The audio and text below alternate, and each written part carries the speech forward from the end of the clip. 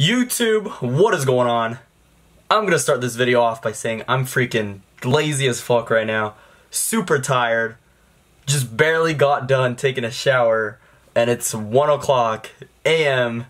and I decided that I can't wait to make this video. So before we get right into it though, I just wanted to let you guys know I copped for retail straight from adidas.com for these pairs of Yeezys right here. Freaking excited. Unfortunately, I ordered the wrong size because I was too freaking in a hurry thinking the site was gonna crash and I got a size 11.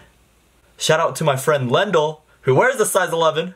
One more thing, I actually got a new camera so let me know what you guys think about this quality of this video. I'm gonna try and make it a little more cinematic and make it super short and quick. So let's go ahead and roll the clip.